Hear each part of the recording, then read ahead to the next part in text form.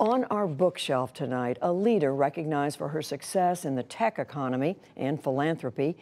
Jean Case has spent years traveling and meeting Americans from many backgrounds and writes about her formula for overcoming doubts and achieving one's dream. We sat down this week to talk about her book, Be Fearless, and why she wanted to share lessons from her own life.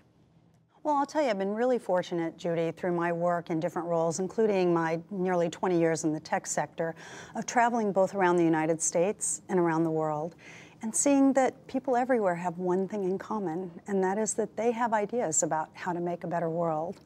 And too often what I would observe is they have great ideas, but they got caught up in this idea that maybe it takes a special genius or graduating from the right school or connections. So about six years ago, the Case Foundation, where I serve as CEO, we undertook some research to take a look at the core qualities of people who do break through.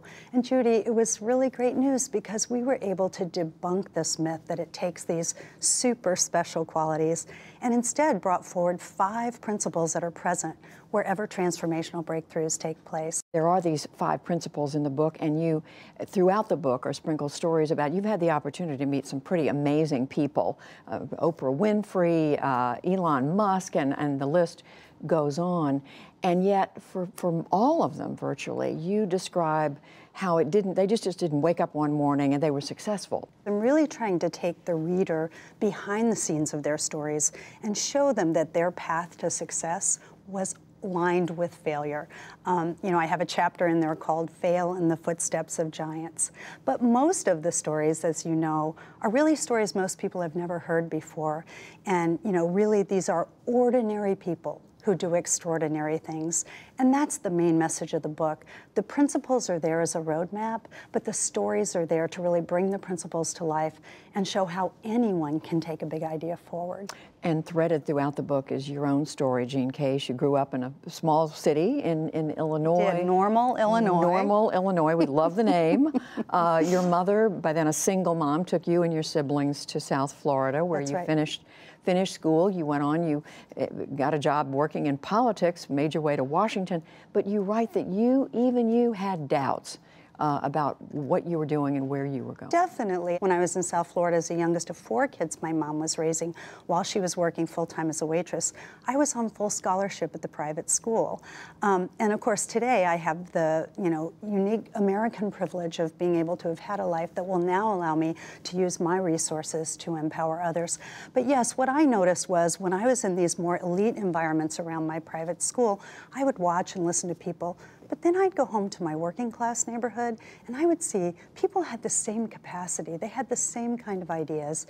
And really from an early, early age, I realized it was actually just opportunity that wasn't equal in my neighborhood. And you were just telling me that one, that the audience you hope to truly reach with the book is obviously a, a, lot of people, but you want to reach people who live in the heart of this country. That's correct. But who may not feel connected that's to right. what's happening and what's growing and what's succeeding. That's right. You know, I think we have gotten a little caught up uh, in putting too much spotlight on Silicon Valley and California, on you know the coast, if you will. But what we know is most of the Fortune 500 companies, in fact, over 70% of them, were founded between the coasts. In a lot of the towns that we think of today as sort of time gone by, there's amazing innovation. You know, I talk about two young co-founders in Pittsburgh who have a company they started called SolePower. So it's an insole that you put in the shoe, and as you walk, it generates power that you can use to charge your mobile phone or other devices. So the military sees that as a terrific potential battlefield solution. So the kind of innovation we're seeing from across the country, but particularly the nation's heartland, is really exciting. You and your husband Steve, you get in your camper uh, RV do. every summer for a few weeks, yeah, and drive around we to do. just the middle of America. Right. Try to stop and, and say hello, get to know people a little bit. What are we missing here in Washington and, yeah. and in the big media centers about right. what's going on? Right. Well, obviously, we are living in a divided time, and I do think a lot of people feel you know, gripped by fear and discontent, one of the principles in the book is reach beyond your bubble. And, you know, whether we like it or not, we are all living in our own bubbles. We don't know enough people different from us to understand their perspectives or to have kind of a different point of view. So we like to go out into the country in small towns and different places where we know people are quite different than we are, um, or we suspect they are often when we go in, and we find sort of talent and remarkable people almost in any setting as we set out there. But it really, that's not how people see unfortunately, the world today. And we're being very purposeful in trying, I am, in trying to highlight these stories in the book to make it clear that great people are everywhere. Right, and that, and that they are listened to and can be appreciated. That's right, and if they have an idea, this is a playbook to get them started. Jean Case, the book is Be Fearless, Five Principles for a Life of Breakthroughs and Purpose. Thank you. Thanks, Judy.